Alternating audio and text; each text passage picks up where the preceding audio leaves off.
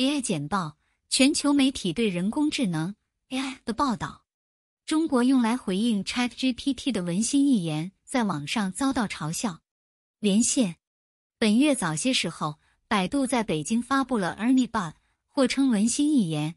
然而这一消息落空了。百度必须遵守政府对在线内容的严格审查准则。就在前一天，OpenAI 对支持 ChatGPT 的人工智能技术进行了重大升级，称为 GPT 四。ChatGPT 已经成为一种文化现象，它能写诗和散文，回答数学问题，阐述哲学思想，并能流利的谈论几乎任何话题，令世界惊叹。微软被迫限制其基于 OpenAI 技术的必应聊天机器人的使用，因为用户找到了规避护栏的方法，使该模型说出了不恰当或有问题的事情。百度已经通过 API 提供了支撑其新机器人的文心一言语言模型。中国的聊天机器人必须遵守中国的审查规则，包括避开政治敏感话题。尽管接受程度不一。但文心一言似乎是 ChatGPT 的有力竞争者，一些用户说他们对其能力印象深刻。百度可能是为了获得先发优势而匆忙推出其演示。由于美国的半导体制裁，它和其他中国公司可能难以跟上美国公司在聊天机器人项目上的规模和实力。百度 CEO 李彦宏在 Ernie Bot 的发布视频中承认了中美之间的紧张关系。测试文心一言，它能否和 ChatGPT 相提并论？日经亚洲，日经亚洲的文章比较了两个人工智能聊天机器人——百度的文心一言和微软支持的 ChatGPT。通过对它们进行并列测试，文心一言的表现不算太差，但它在理解中文背景方面有困难，而且不会参与政治敏感问题。而 ChatGPT 在被问及政治问题时，表现得更为坦诚，并给出了详细的回答。文心一言能够画图，但在数学问题上不准确，也不能回答开放性的问题。ChatGPT 在旅行计划和中英文翻译方面表现较好。这两个机器人都有改进的余地，是正在进行的工作。百度首席执行官李彦宏认为，文心一言的用户反馈将比 ChatGPT 首次推出时更好。到目前为止，谷歌的新 AI 聊天机器人是一个非常糟糕的美联储专家。彭博社，谷歌推出了一个名为 Bard 的新聊天机器人，旨在介绍其对话系统研究。不幸的是，它仍然缺乏一定程度的复杂性，这体现在它无法超越2021年的时事。巴德已被开发为自然语言处理、面向任务城市设计。和其他人工智慧技术的研究实验，与 OpenAI 的 GPT 三等竞争对手不同，巴德的功能极其有限。虽然系统可以与使用者就食品和饮料等主题进行互动，并且可以玩游戏，但使用者不能提出简单的二进位是或否问题，因为它无法回答这些问题。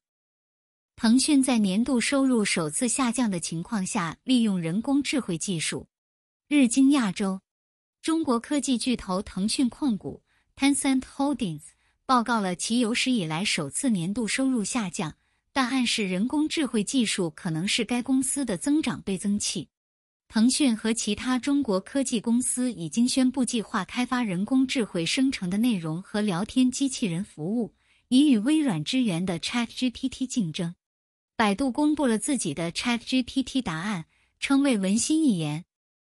瑞士信贷的投资银行正在慢慢消失。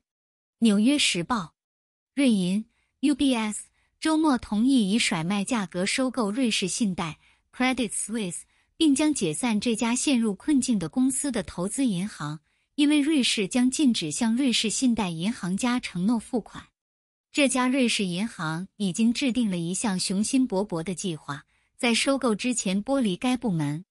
瑞银曾表示有兴趣保留媒体、医疗保健和科技等特定行业的一些银行家，但随后表示计划限制其整体投资银行业务的规模。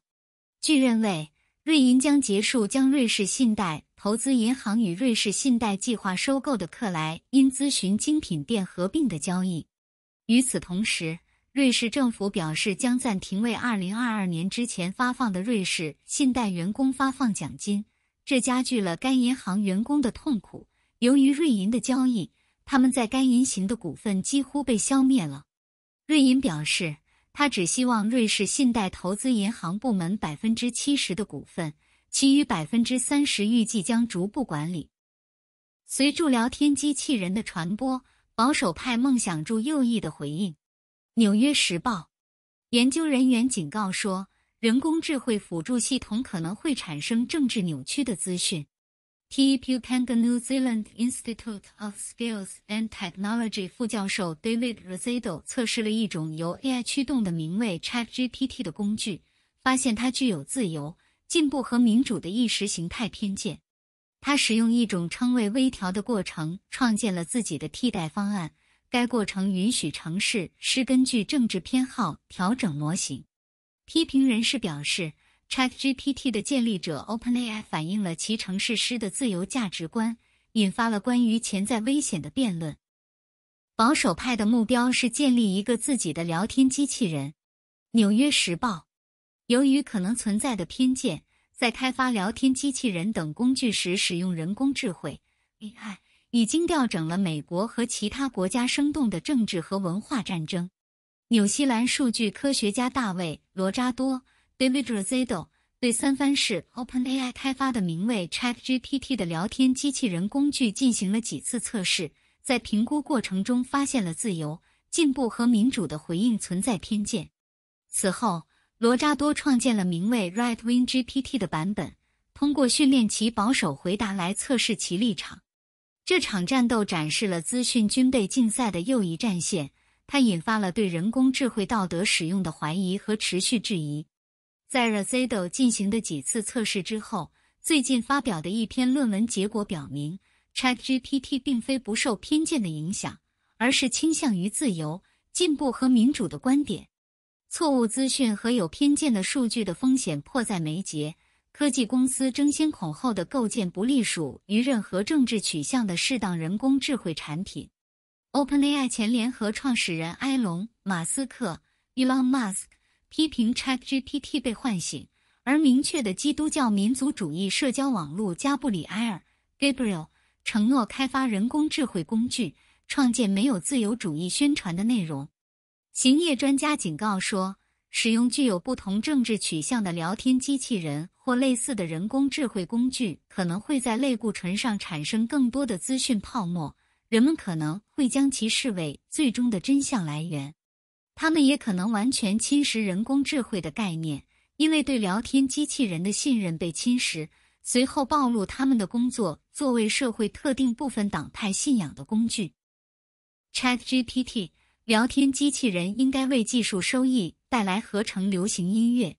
金融时报，谷歌推出了一个新的聊天机器人 Bard，以挑战 OpenAI 的 ChatGPT 四，让每家科技公司都有机会激发人类与技术无缝交互的进步。ChatGPT 允许人类与计算机无缝交互，为整个技术领域开辟了重要机会。目前，提供订阅模式的 ChatGPT 四具有首先进入市场的优势。然而，谷歌在影响力和规模方面被认为更为深刻，这标志着对 OpenAI 雄心壮志的巨大威胁。据业内人士称，已有超过一亿人注册了 ChatGPT，其中科技工作者处于领先地位。公司开始整合这些工具，其中生产成本各不相同，产生的收入很低，导致货币化问题。OpenAI 提供 ChatGPT Plus 的订阅。以及许可费，该公司预计今年将产生二亿美元的收入。该业务的估值可能是销售额的一百四十五倍，估值达到二百九十亿美元。合成智慧的消费化似乎将继续快速增长。微软将把 ChatGPT 四添加到它的 Office 应用程式中，LinkedIn 也将使用这项技术。聊天机器人和生成式人工智慧最终可能会改变涉及文本或图像的工作的游戏规则，从软体工程师到律师，再到人力资源。总之，ChatGPT 四的绊脚石是完善开发 AI 的大型语言模型。如果大型科技公司能够继续在免费产品中提供这些模型，OpenAI 的收入可能会受到威胁。TikTok 在澳大利亚夺走音乐时失去了客户。彭博社在进行了一项测试，以评估音乐对平台使用者的重要性后，澳大利亚的 TikTok 用户数量有所下降。一些使用者无法访问由三个主要唱片公司分发的大部分音乐。而其他使用者只错过了较少的音乐。虽然在此期间，TikTok 在大多数其他市场的用户数量有所增加，但澳大利亚的用户数量连续三周下降。音乐行业将这一测试视为削弱其价值的举动。然而，结果实际上可能已经证明音乐对应用城市的吸引力至关重要。TikTok 向音乐版权拥有者支付固定费用。而许多人则要求获得一定比例的总收入。TikTok 认为，它不应该支付与音乐服务相同的费用，因为它是一种促销工具。唱片公司已经签下了数十位艺术家，因为他们的歌曲在该平台上流行起来。它的成功刺激了其母公司为元祖跳动的价值达到数千亿美元。该服务还导致拜登政府考虑以国家安全为由禁止美国消费者使用，除非该公司被出售。去年，应用测量公司 Sensor Tower 发现 TikTok 的下载量已达到二十亿次，其中大部分来自印度人。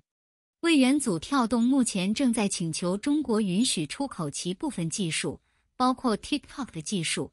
新的许可协定对于围绕该应用城市未来的任何成功交易都至关重要。